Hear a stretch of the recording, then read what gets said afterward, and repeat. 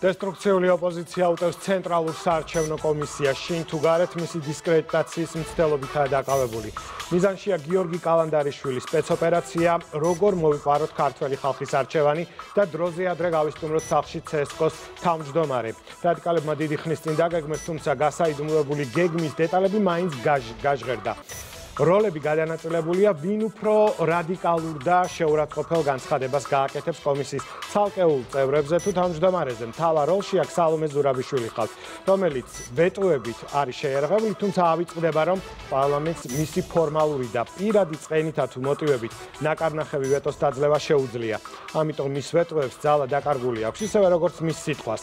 საზოგადოების დიდ ნაწილში კონსტიტუციის დარღვევის და ინსტიტუციების უპატივცემულობის გამო შორენახვით შეამოგიყვებათ არჩევნების მოახლოებასთან ერთად, როგორ ემზადებიან რადიკალები, როგორც წინა საარჩევნო, ისე თავად საარჩევნო პროცესის და საარჩევნო ადმინისტრაციის დისკრედიტაციისთვის. ეს ძალიან გავს იმ კინოსცენარს, რომელიც 2020 წელს ნახეთ და რომელიც რადიკალების და მათი მოკავშირეების მარცხითა და ხილებით დასრულდა.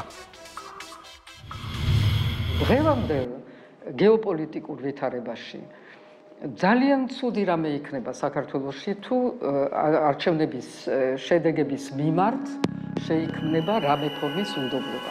ეს არის პირველი ნაბიჯი დესტაბილიზაციისკენ. ვინ ქმნის არჩევნების მიმართ უნდობლობას და ვის აწყობს დესტაბილიზაცია? ამ ორი კითხვიდან ერთზე პასუხი უკვე დიდი ხნის გაცემულია. დიდი პოლიტიკური მეხსიერება არ არის საჭირო, რომ მივხვდეთ, ვის ინტერესია ქვეყანაში არეულობა და დესტაბილიზაცია. და ამ პასუხიდან უფრო მარტივად მივდივართ მეორე კითხვის პასუხამდეც. ვინ ქმნის არჩევნების მიმართ უნდობლობას და როგორ ცდილობს ახლა ამის მიღწევას? ახლა ამ ეტაპზე ეს თემა წყდება საარჩევნო კოდექსზე დისკუსიით. იმისთვის, რომ ცენტრალურმა საარჩევნო კომისიამ გამართულად იმუშაოს და აღარ დარჩეს სივრცე манипуляციისთვის, საპარლამენტო უმრავლესობა მასში რამდენიმე ცვლილება შეიტანა, რასაც რადიკალური ოპოზიცია აპროტესტებს და ამაში მათ პრეზიდენტიც ეხმარება, მის ხელთ არსებული ბერკეტებით. სალომე ზურაბიშვილმა უკვე დამტკიცებულ ცვლილებებს ხელმოწერის ნაცვლად ვეტო დაადო. აქ უკვე მე მგონი ყველა კარტი გახსნილი არის. ყველა მნიშვნელობა არ აქვს ქვეყნის შინ თუ კაი, ყველა ვინ ჩვენ გვეუბნება და ასე საეჭვოდ დაჟინებით მოითხოვს, რომ დავტოვოთ ძველი რეგულაცია, რომელმაც შეგვიყვანა 2 წელია ჩიხში, სინამდვილეში ყოველას აქვს რაღაც არა სათანადო და კეთილსინდისწერი განზრახვა 2024 წლის საპარლამენტო არჩევნებთან დაკავშირებით. ამიტომ ქართული ხალხი უნდა იყოს ფხიზლად დაიმახსოვროს ყველა ის, ვინც ახლა არის აქტიური ამ ხრივ და შემდეგ შეადაროს 27-ში ვინ იქნება ყველაზე მყირალა და ნახავს ამ პარალელებს. ყველაფერი რომ უფრო ცხადი გახდეს, ჯერ ვთქვათ, რა შეცვალა ქართულ მოუცნებამ საარჩევნო კოდექსში. ძველ რედაქციაში ეწერა, რომ ცესკოს თავმჯდომარის არ ყოფნის შემთხვევაში მისი მოვალეობა პირველ მოადგილეს უნდა შეესრულებინა, რომელიც აუცილებლად ოპოზიციის კვოტით არის არჩეული, ანუ პარტიულია. ამ კონკრეტულ შემთხვევაში ეს არის პარტია ლელოს წევრი. ცვლილებებით კი ეს შეიცვალა და თუ ისე მოხდა, რომ ცესკოს თავმჯდომარე მოვალეობის შესრულება ვერ შეძლო, მას ისეთი მოადგილე შეცვლის, ვინც პარტიული არ იქნება. ის ოპოზიციონერი მოადგილე, რომელიც გაუქმებული არის ამ ახალ პროექტში. საჭირო არის, იმიტომ რომ ესეც ქმნის იმ განცდას მოსახლეობაში, რომ რაღაცა ყველა არის ჩართული ამ საქმეში და მეტი ნდობა ამდენად იქმნება პროცესის მიმართ. პრეზიდენტის თქმით, ოპოზიციის წარმომადგენელი მეტნდობას იმსახურებს, ვიდრე პროფესიონალი, რომელიც ცესკოში სწორედ მისი პროფესიონალიზმის ნიშნით არის არჩეული. თუმცა, მაინც ამის გარდა, განხილვის თემაა, როგორ აპირებდა მოადგილის თანამდებობით ოპოზიცია ცესკოზე კონტროლის მოპოვებას და საერთოდ რატომ იყო ასეთი ჩანაწერი კოდექსში. პარლამენტის თავმჯდომარე ამბობს, რომ ეს ინიციატივა 19 აპრილის დოკუმენტიდან წამოვიდა. არც ოპოზიციის იდეა იყო ეს, არც მithumetes ქართული ოცნების. მედიატორმა, არ ვიცი საიდან მოიტანა ეს იდეა, იმიტომ არ არსებობს სოფლიოში ამის პრეცედენტი, რატომღაც დაჟინებით მოითხოვა, რომ ყოფილიყო შეთანხმებაში ეს პუნქტი, რომ არათუ ოპოზიციური მოადგილე, ჩვენ აუდიტო იყოს მოადგილე, მაგრამ მოვალეობა თუ შესასრულებელია შეასრულოს პროფესიულმა წერმა და არა პარტიულმა. არა, ეს იყო მაშინ მედიატორის დაჟინებული მოთხოვნა, რომ ყოფილიყო ზუსტად ოპოზიციური მოადგილე. უფრო სწორედ ჩვენ გვეგონა რომ ეს იყო ოპოზიციის პოზიცია მაგრამ მე გაირკვა რომ ეს იდეაც კი არ ყოფილა საერთო ოპოზიციის ამიტომ არ ვიცი კითხვები მედიატორის და იმ მედიატორების მიმართ უნდა იყოს. საიდან მოვიდეთ ეს იდეა? რატომ იყო დაჟინებული მოთხოვნა მათი მხრიდან? და როგორც აღმოჩნდა ეს არ ყოფილა ოპოზიციის იდეა არ იყო ჩვენი იდეა არამედ მათი იდეა მედიატორისგან ამაზე პასუხი არ გვაქვს, მაგრამ ხედავთ, როგორც ცდილობდა ამის გამოყენებას რადიკალური ოპოზიცია.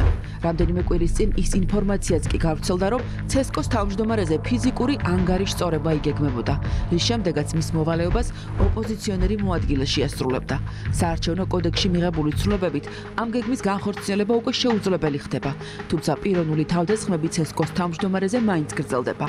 ახლა ცესკოს თავმჯდომარე თავიდან უნდა აირჩიონ და მსგავსი კამპანია წინა შემთხვევებშიც არაერთხელ გვინახავს რადიკალებისგან. ყველა გასული არჩევის წინ ადგილი ჰქონდა ასეთ მადისკრედიტებელ საინფორმაციო კამპანიებს უსაფუძვლო ბრალდებებით. ამ შემთხვევაში კი ჩემი ოჯახის ქონებრივი მდგომარეობა სრულად ამახინჯებული ფაქტებით გახდა დისკრედიტაციის და გარკვეული ეჭვების შექმნის და გაჩენის მიზნით გამოყენებული.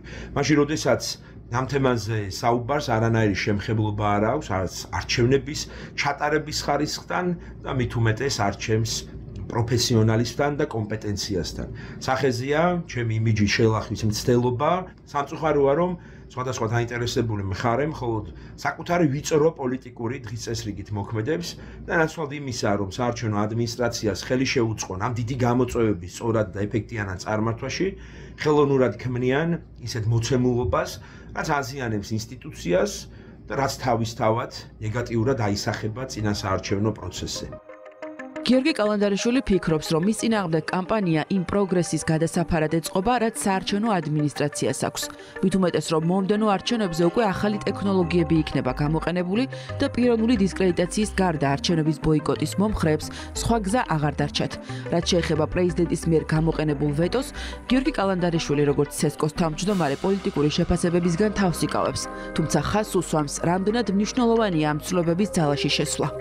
ცვლილებების აქტუალურობიდან და მისი შინაარსიდან გამომდინარე მნიშვნელოვანია რომ ძალაში შესვლა განხორციელდეს რაც შეიძლება მოკლე პერიოდში, რათა უზრუნველყოფილ იქნას ამ თემის ირგვლივ არსებული манипуляციების დასრულება, ამავდროულად მნიშვნელოვანია ისიც, რომ შესაბამისი კონკურსის პირობებში რაც შეიძლება მალე იქნეს არჩეული ინსტიტუციის გრძელვადიანი ხელმძღვანელი, რომელიც უზრუნველყოფს დღეს საარჩევნო ადმინისტრაციის წინაშე არსებული გამოწვევების ეფექტიანად და წარმატებით გადალახვას.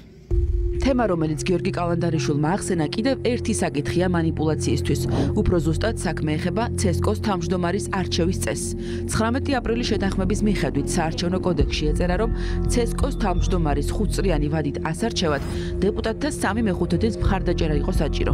ანუ ოპოზიციასაც უნდა დაეჭირა მხარი, რომ საარჩევნო ადმინისტრაცია სტაბილურად 5 წლით ყოლოდა ხელმძღვანელი. ამას რა თქმა უნდა რადიკალები მთელი ამ დროის განმავლობაში კარგად იყენებდნენ და შეიქმნა ჩიხი, რადგანაც პარლამენტს უწევდა, რომ ახალი თავმჯდომარე ყოველ 6 თვეში დაემტკიცებინა.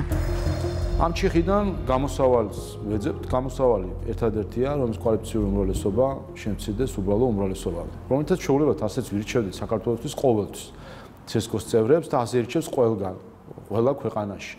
აა თუმცა როგორც ჩანს, ოპოზიციის ინტერესები გასაგებია, მაგრამ ჩვენ ვატყობთ, რომ არასამთავრობო ორგანიზაციები და ზოგიერთი უცხოელი აქტორი დაჟინებით მოითხოვს და დავწოვოთ ძველი წესი, ანუ დავჭეთ ჩიხში.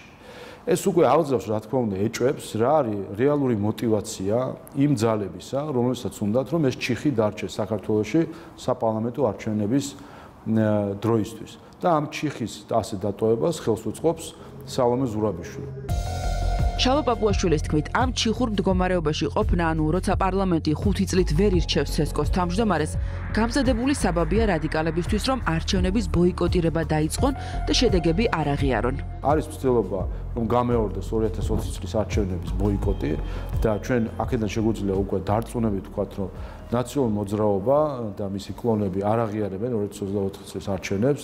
ამის თქვის უფლებას ჩვენ გვაძლევს გამოცდილება, მან მათ არ აღიარეს არც 2012-ის წაგება, არც 16-ის და არც 20-ის წაგება. სამივე შემთხვევაში მათ შემდეგ მოუხდათ აღიარება. 2012-ში ამერიკელმა ორმა სენატორმა აიძულა საქართველოს პრეზიდენტი რომ ეღიარებინა ამდენად იყო მათზე დამოკიდებული 2016-ში და 20-ში საქართველოს მოსახლეობამ აიძულა საბოლოო ჯამში ერთ შემთხვევაში 1-2 თვე დაჭირდა 2020 წელს კი 1 წელი დაჭირდა რომ მათ ეღიარებინათ დამარცხება. ამ გამოცდილებით რაც ქვეყანამ დააგროვა, იმის გათვალისწინებით რომ რადიკალები ხელწერას არ ცვლიან და ისევ შეეცდებიან არჩევნების ბოიკოტირებით არეულობის მოწყობას, ქართულ ოცნებაში აპირებენ რომ ცვლილებები აუცილებლად ბოლომდე მიიყვანონ და მომავალ სასესიო კვირას ვეტოსაც დაძლევენ. მართველი გუნდის გეგმის მიხედვით შემოდგომაზე არჩევნებს ცესკო შეხვდება 5 წლით არჩეული თავმჯდომარით. კანონში მკაფიო ჩანაწერებით და ახალი ელექტრონული ტექნოლოგიებით, რაც გამორიცხავს ყველანაირი მანიპულაციას და არჩევნების მიმართ უნდობლობას.